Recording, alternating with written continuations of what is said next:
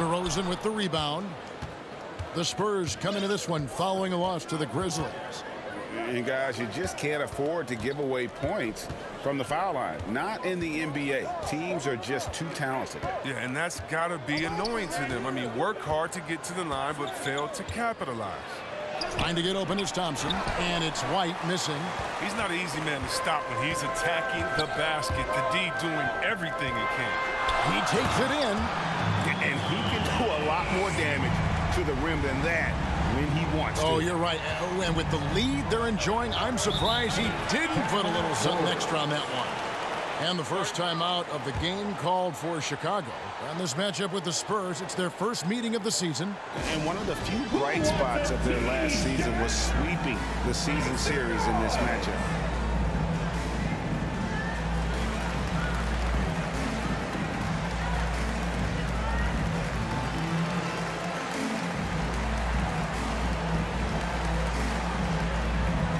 So San Antonio goes with the front. Substitution on the court. Second quarter of play with almost three minutes gone. White, wide open. He fires. Good. And it's DeRozan picking up the assists. Well, there's such a great rhythm to the game. White looked comfortable on the catch and shoot. Well, White's a talented player, but very streaky. You never know who's going to show up. So for Chicago right now, we've got DeRozan. Tristan Thompson is out there with Williams. Then it's White, and it's Ball in at the one spot. Back to White. Jacks up a three. Score the basket. His eighth. Eight for 13 from the floor. Chris, as you said with White, he can make 10 in a row and then miss the next 15. But Kevin, that's just how some players are. It, it all averages out, and hopefully White can find more consistency. They are just killing them on the interior. And let's catch up with our sideline reporter, David Aldridge. Hi, guys. Well, they call him Captain Clutch, and in the last game against the Grizzlies was terrific. He scored 22 points and made an impact from outside the arc, hitting a good number of three-pointers. This is why he's considered a star player. The way he carried his team was incredible. Kevin, we'll see if he can do it again tonight. Thanks, David. You know, GA, you wonder how much of that performance can carry over into this one.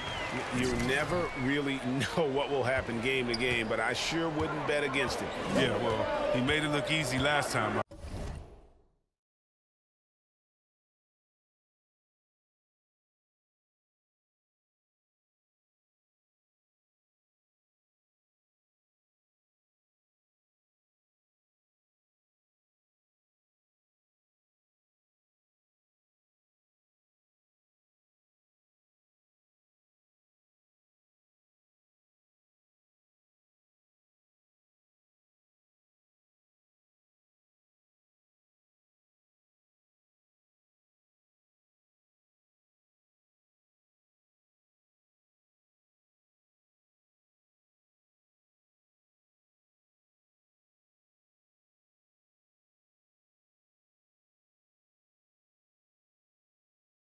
Mean, he's in sync from the get-go.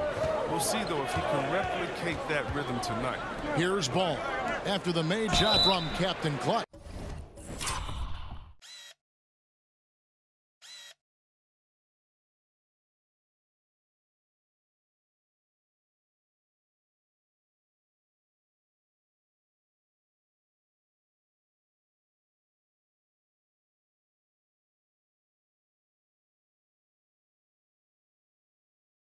San Antonio. Spending Folks, the coach's challenge has been initiated for a personal foul. Close game like this, and he thought it wasn't a good call. And this is the the line for the time now where the officials can review in closer detail what taking constituted the original personal foul. Getting a different angle can sometimes make it a lot easier to determine. Greg, indeed, and the one thing with replay review is that when you see the slow motion replays, you really get a new appreciation for just the immense speed at which these players are moving at and how fast the action really is and, and how hard it can be sometimes, you know, Greg, to, to make the right call. And the announcement on the review is that the foul was called in air.